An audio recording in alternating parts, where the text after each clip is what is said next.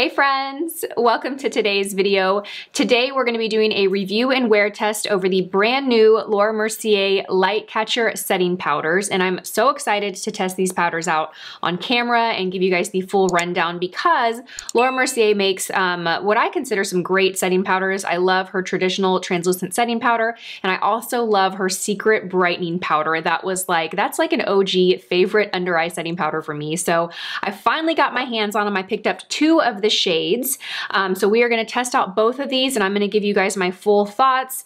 Uh, this is gonna be somewhat of a first impression because I actually haven't worn these, but I am gonna take you guys throughout the day. We're gonna look at how it is, you know, lasting throughout the day and if it does live up to the claims that it makes. So Laura Mercier just launched this new formula of setting powder. They launched it in three shades. It retails for $39. They launched with the shade Celestial Light, which is a champagne beige, and it is described as being for fair to light skins. They also launched the shade Honey Star, which is a golden peach, and it is best for tan or medium tones that have a golden or olive undertone, and I picked both of those up. So I picked up Celestial Light, and I also picked up Honey Star. And they also launched with Cosmic Rose, which is described as being a bronze rose and best for medium to deep skin tones. And I did swatch this one in store, and it definitely felt like it would be too dark and too pink for me as a setting powder. So the Laura Mercier Light Catcher Setting powders are described as being a super finely milled luminous light creating setting powder. It claims to have a 12 hour wear. It also claims to blur pores, texture, and fine lines in the skin. They say unlike other luminous powders, it is weightless pearls that blend into the skin becoming one, which helps with the appearance of texture in the skin. It is a super finely milled powder and it is also fragrance free. Now I did look online and do a little bit of research to see how to wear these powders because honestly when I swatched these in Sephora, uh, they looked more like highlighting powders to me. I was a little confused about setting makeup with these, setting all over the face, but online on lauramercier.com, it does say that you can set all over the face or you can use them in the highlights and high planes of your face if you want to create a little dimension to your face.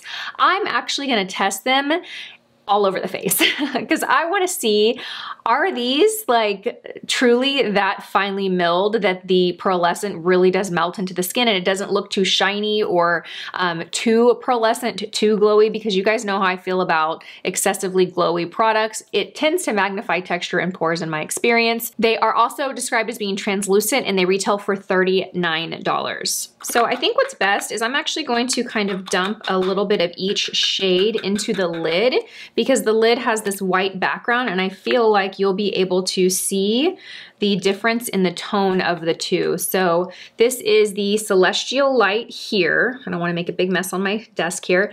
And this is, is it Honey Star? Uh, this is the darker one, obviously. So you can see that this looks kind of like a bronzer.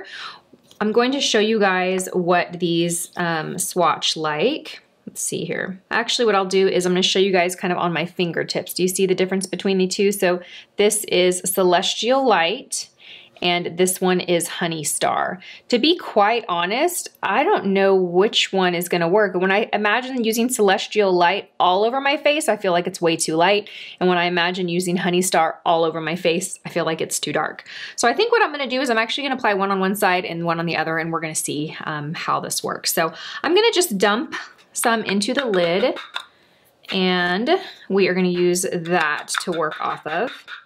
Now, of course, depending on which tool you use to apply these, that's definitely gonna determine how um, much shimmer and color you get. I don't wanna use anything really dense, so I am going to use, I'm actually gonna use um, our 104 brush because I was thinking of using the 108, but the 108 is much smaller, much more dense. This is, well, I normally use this to set under the eyes and set all of my face um, precision, you know, precisely. I think using a product that has pearlescence, I'm afraid it's gonna be too much. Maybe I'll play with it and see, but I'm gonna use the 104 because I feel like it is a safe bet. All right, so we are up close and personal. I want you guys to really see how this um, lays on the skin. We're gonna do Celestial Light on the right side, and I'm just gonna pick all the product up in my brush and we're gonna set all over the face. So let's see, I have all of my makeup on. I didn't set at all with powder, so I just have foundation. The foundation that I used today was the Lancome uh, Teint Idole Stick Foundation. That has a nice kind of natural matte finish. It's not pearlescent or glowy. I didn't want to use anything that was a dewy or glowy finish. I wanted to really um, kind of judge, you know, the glow from the powder alone. Okay, wow. That looks a little too shimmery. Let's see if we can blend that out. So it definitely creates a lot of glow and luminosity there, a bit more than I expected. Just, I mean, I shouldn't say expected because I actually expected it to, but by what I read online and what I'm seeing here, it's a little bit different. Um, now, it's really just there, you know, but keep in mind the first place you put your brush is where the most product's gonna be applied. So when I actually go all over the rest of the face, you don't get that same effect. I think I kind of messed up by applying it right there and applying it where I tend to have the large amount of pores. what I should have done is blotted it on my hand first and then gone to my face. That's what I should have done, but okay, well that is a good lesson. So um, Otherwise, in the other areas of the face, it looks very pretty, very light. I don't see an excessive amount of pearlescent at all. The forehead looks beautiful. Um, I wouldn't have guessed that I used a setting powder that has pearlescence if I look everywhere except right here, which is where I first applied that that um, my brush. Let's go in and use the other side and we're gonna try that technique. So I've picked up the product and actually picked up quite a bit. I'm going to, um, you know what, I have a towel here. I'm just gonna kind of blot it on the towel lightly and then go to the face. Okay, so I have applied them both all over. Um, I do want to use my 108 so you guys can see what these do. Um, I think my thoughts right now is that it's beautiful, but it definitely is going to be pretty glowy when you first put your brush down. Even though I blotted my brush over here, I still feel like I got quite a bit of shimmer. Um, this is more shimmer. It's pretty on the cheeks. It's fine on the cheeks, but this is more shimmer that I would than I would want anywhere else. Let me take the 108 brush and um, let's see. Okay, so do you see that? That is creating quite a bit of glow. This definitely looks like a powder that I would use just to highlight. Like I wouldn't want this effect here all over my face, so keep that in mind. If you're used to using a puff to apply setting powder or a small brush, I would advise against putting it all over. If you want a very subtle highlight, it's nice. Okay, let's go on the other side with Honey Star. I think both shades work on me though. Honey Star is obviously gonna give a warmer kind of sun-kissed glow. They're pretty. Okay, so even though they do go on pearlescent, you can kind of press and play and they blend out and do kind of melt into the skin, but definitely more glow than I expected based on what I read online. But honestly, when I look at the product, this is kind of what I would expect. Okay, very pretty. As far as blurring pores, um, I wouldn't say that I notice any of that, but I will say that I do not notice that it magnifies my pores, which is usually the case when I'm using a powder that has pearlescence. Yeah, I don't think that it magnified my pores here. And typically, anytime I put shimmer there, it always does. So that is a bonus. I wouldn't say that it blurred them or made them smoother though. But this is very, do you guys see that? I mean, that is very, ooh, glowy. so, you know, it's okay and it's pretty here, but if I were to do that all over my face, mm, I would feel like the Tin Man. I kind of like Honey Star better on me because it just looks more natural. This looks more like I could fool you into natural light. This looks like I've applied some makeup, which Brings me to my Believably Glow video that I did about a week or two ago. I'll link that below in case you missed it, but I have some tips on how to create a natural looking glow versus something like this. Okay, you guys, I am going to wear this around today. It is about 11.48. I probably won't do multiple check-ins throughout the day. I'll probably do one or two um, and just see how this lasts throughout the day. See if I feel like I need to touch up with a matte powder and yeah, just kind of how it looks. Does it move? Does it break apart? Does it, you know, make me look shiny or greasy in a couple hours? We will see. Hey everyone, I'm in my closet doing some much needed organization and I was just checking out my makeup in the mirror and I wanted to do a, check-in with you guys. It is about 2.45 p.m. so I forget what time it was that I did my makeup earlier. It's been a few hours at least. I haven't touched up with any other powder um, since and things are looking really good. I actually went outside and walked down the street to neighbor's house to see if a little friend could play with Kate and it's like 100 degrees outside. So it is hot. I didn't spend much time out there. I was out there for maybe 10 minutes, but still that's a lot of time outside in 100 temperature heat with a full face of makeup on. So I thought I would give you guys a kind of check-in and show you how things are looking. Um, I have this really bright overhead light above me. So, I mean, it's actually doing a great job of kind of showing you you know, truly how the makeup looks. From afar, the skin looks really pretty. I mean, it really does look beautiful and glowy without being overly done at all. When you get up close and you really look, I mean, you can you can see that the makeup looks heavy. Um, and I think that's a byproduct of putting a glowy, you know, setting powder all over my face. Um, I had a thought earlier that it looks really beautiful, but it's probably not a product that I personally would want to use in the morning for a full-time day, like for full day. This would probably go into my category of products that I do for an evening out or for nighttime makeup.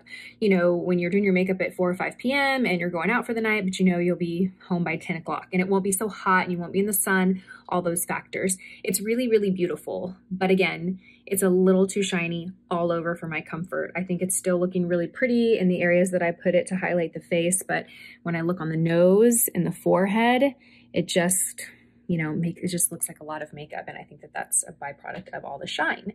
So I will do a check-in, of course, later today. I think I am going to set it with a translucent matte powder here shortly to just kind of set the oil. I also wanted to note that, that this would not be a product that I would recommend to touch up with throughout the day.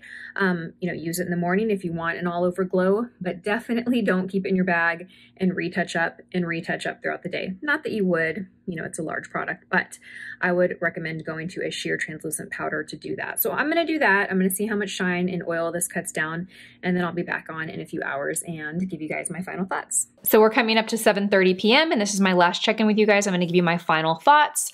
I have you guys zoomed in really close so you can see what the skin looks like. Now, I did touch up since my last check-in with you guys. Um, I did use a translucent matte setting powder. I used La Mer to freshen my makeup up shortly after that. And it did a great job of kind of mattifying the skin and absorbing excess oil without taking away from the luminous effect of the Laura Mercier setting powder.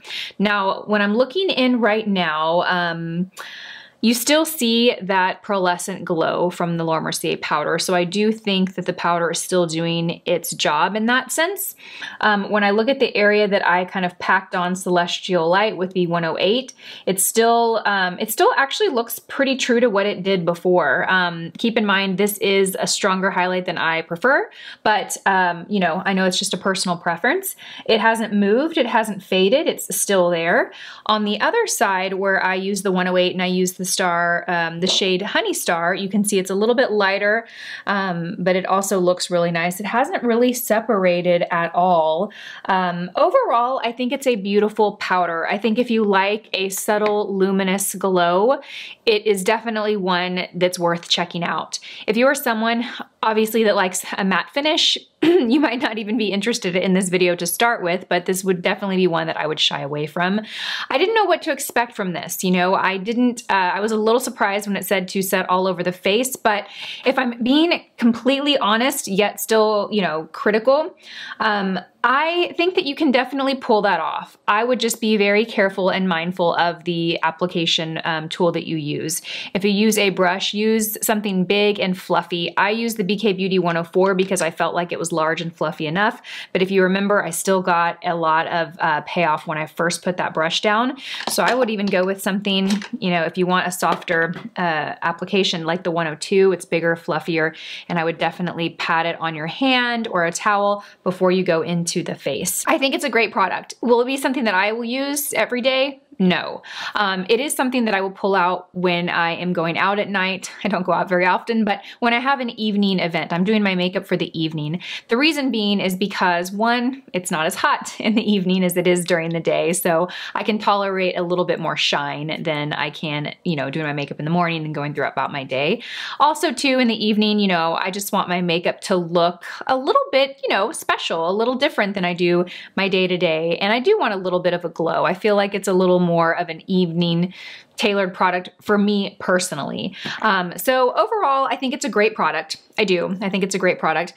I will not use it every day though. I will not use it in the morning because I think that, um, you know, by the end of the day, I'm just a little shinier than I like to be. So that is my review of this product. I hope you guys found it helpful. If you've picked this product up and tried it for yourself, let us know your thoughts. Um, you know, even if it completely disagrees with everything I said, let us know. I love to hear from you guys. I love to hear what you love, what you don't, what you agree with, what you don't, and also share your skin type and your texture. I am pretty normal lately. My skin has actually been a little bit drier um, and I'm 38 years old. You know, I have pretty normal skin. I feel like I have good skin. Um, I do have texture, you know, in my pores that I is probably my biggest concern with my skin. So I hope you guys found this video helpful. Thank you so much for watching and I will see you all in my next video. Bye guys.